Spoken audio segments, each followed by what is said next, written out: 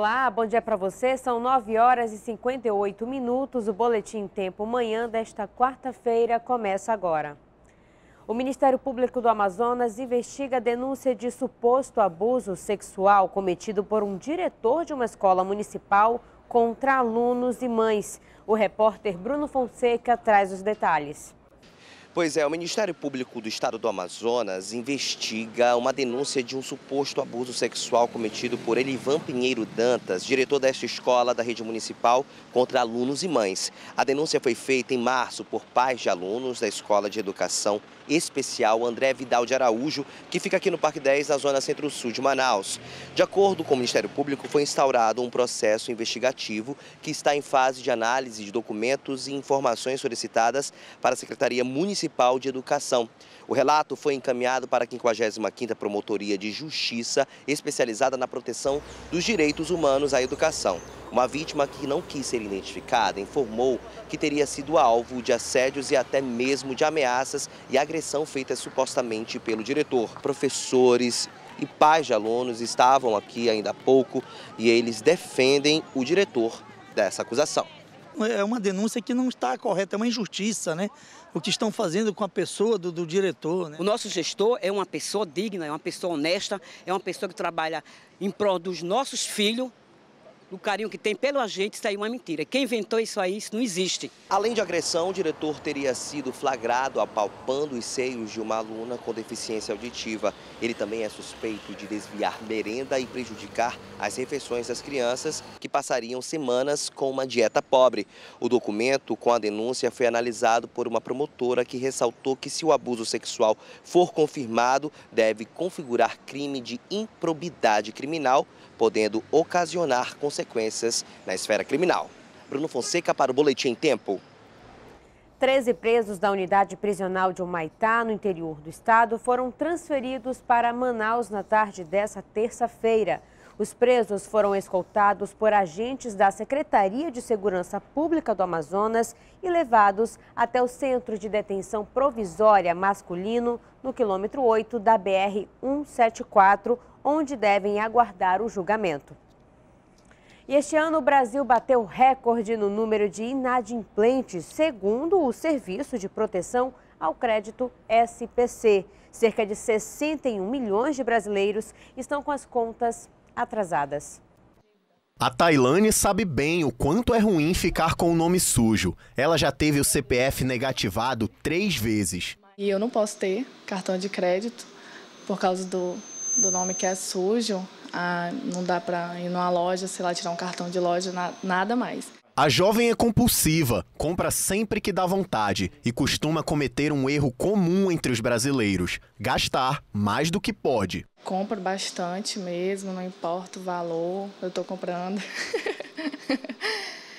então, mas assim, meu jeito. Hoje em dia já sou um pouco mais bem mais cautelosa, na verdade. Segundo o Serviço de Proteção ao Crédito, só esse ano foram registrados 61 milhões de inadimplentes no Brasil, um recorde. Apenas no mês de maio, 900 mil pessoas entraram nessa lista de devedores. Um dos grandes motivos é que às vezes o, brasileiro a, as economias são apertadas, né? o salário é pouco e, além disso, a falta de organização nas finanças acaba atrapalhando. Já aqui no Amazonas, 375 mil pessoas estão com o CPF negativado. Um número alto, mas que vem diminuindo desde o início do ano. Os motivos são vários, inclusive o baixo índice de demissões aqui no estado. Então, todos nós temos dívida, mas quando eu perco meu emprego, eu viro inadimplente, que eu não consigo pagar. Isso é um ponto principal. Depois, nós temos uma situação é, das pessoas gastarem mais do que, tem, do que recebem e se tornam inadimplentes. Mas em âmbito nacional, a situação é realmente complicada. A cada 10 pessoas acima de 18 anos, 4 estão com o nome sujo por causa de dívidas atrasadas. Estou tentando juntar um dinheirinho aí para a gente tirar a dívida do banco aí, que está a dívida no banco. Bom, meu nome está negativado, mas não é porque eu deixei de pagar, eu fiz compra no nome de meu nome para outras pessoas, aí está negativado. É, não tem muito o que fazer. Para este economista, o único jeito mesmo é economizar. Tentar primeiro economizar, né? essa é a primeira coisa. Então, às vezes a gente faz muitas saídas, né? Sai para almoçar, para jantar, tentar comer mais em casa, tentar controlar um pouco mais as contas de casa, telefone, luz, isso ajuda. Mas não só isso, tentar pelo menos sempre, todo o salário que você receber, tentar guardar pelo menos 10%. A expectativa é que com os saques das contas inativas, o número de inadimplentes diminua no Brasil. E olha, os trabalhadores que ainda não sacaram o FGTS das contas inativas têm até segunda-feira para fazer isso.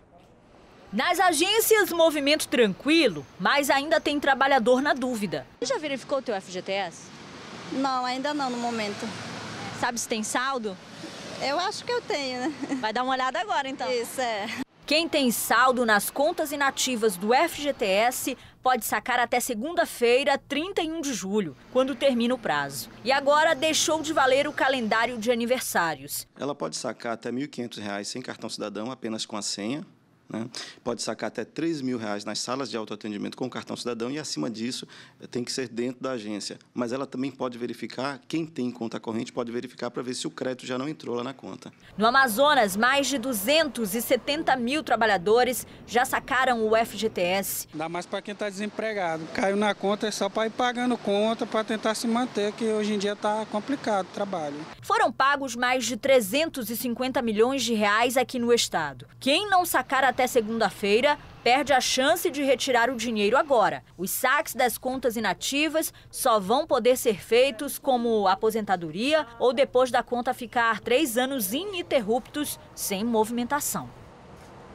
E nessa terça-feira foi comemorado o dia de São Cristóvão, padroeiro dos motoristas. Uma missa em homenagem ao santo foi celebrada na Praça 14, Zona Sul cânticos e orações. As homenagens dos fiéis católicos são para o santo que protege os motoristas, os viajantes e os peregrinos. São Cristóvão, que significa aquele que carrega o Cristo. Ele foi uma espécie de barqueiro, né, de balseiro, que ajudava as pessoas a atravessarem os rios por causa que eram muito perigosos, né? Então ele fazia esse serviço lá na, na região onde ele morava.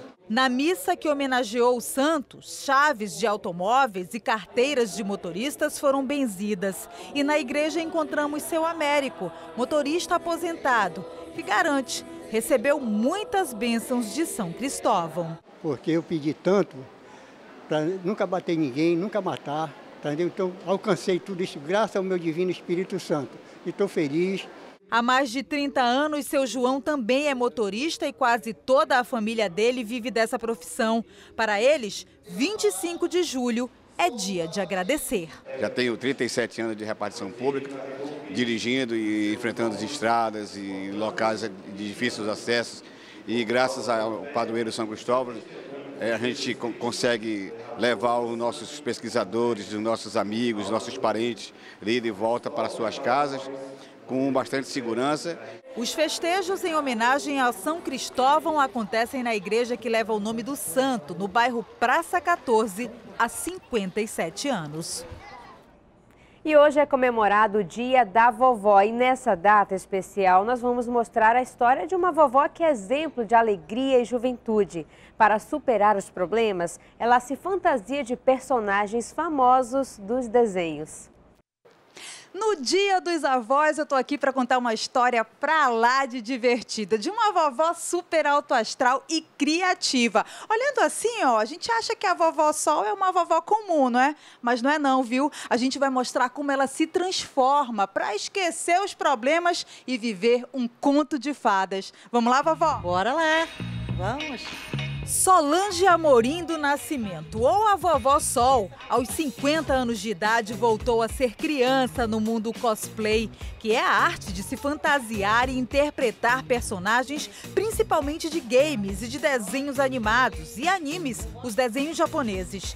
E olha ela aí vestida como a famosa fada madrinha do ogro Shrek. Hey A vovó Sol literalmente incorpora os personagens e faz isso há três anos, influenciada pela filha Jéssica, que garante a mãe mudou para muito melhor depois que aderiu ao cosplay.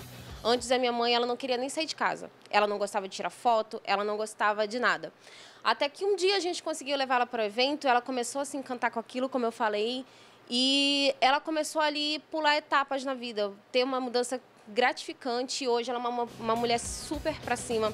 Quem nasceu nos anos 80 com certeza se lembra do clássico desenho animado A Caverna do Dragão. E a vovó Sol é super fã também, por isso decidiu se vestir assim, como o mestre dos magos. Com as fantasias, ela já ganhou seis premiações em medalhas e até uma viagem a São Paulo, onde, é claro, participou de um evento cosplay. Eu consigo levar para as crianças, para os adultos, um pouco da minha felicidade. É o momento em que eu esqueço do que acontece hoje, dos problemas, das contas, que a gente tem muito, né? E passa para esse mundo de faz de conta, onde lá tudo é permitido. Tudo é permitido mesmo para quem vê o lado bom da vida. Vovó Sol tem 14 fantasias e nelas o investimento foi de 3 mil reais. Ela diz que é pouco, já que trazem tanta felicidade. E nesse 26 de julho, Dia dos Avós, a nossa vovó cosplay dá um recado para quem não quer deixar nunca de ser feliz, independente da idade. Vovó não é só para fazer tricô, crochê e ficar no fogão. É para ser feliz também, para se divertir. Afinal, nós estamos aí justamente para isso, para ser feliz. Feliz Dia dos Avós. Obrigada. São 10 horas e 9 minutinhos em Manaus. O Boletim Tempo Manhã termina aqui. Outras informações daqui a pouco às 10h50 no programa Agora. Até amanhã.